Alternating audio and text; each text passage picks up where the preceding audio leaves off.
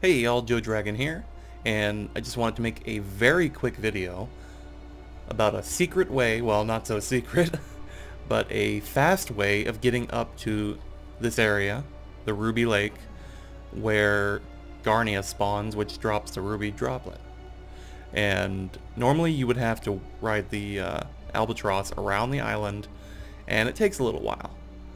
But there's a much quicker way to do that and I'm going to go ahead and show you that right now. Alright, so what you're going to want to do is to swim out north of the Ruby Lake, and then you're going to go ahead and mount on your flying mount.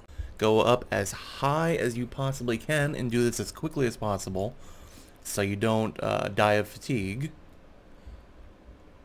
And basically until you're up to the ceiling. Let's see here.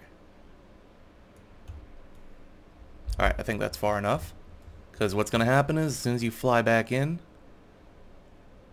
you're going to lose your kite, or your flying mount. Ding. And if you timed it just right, keep pressing forward the whole time, and you will land right in the lake.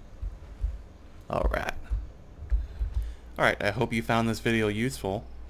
And if you did, go ahead and give it a like, and subscribe for more. Alright, until the next video, I'll see you later.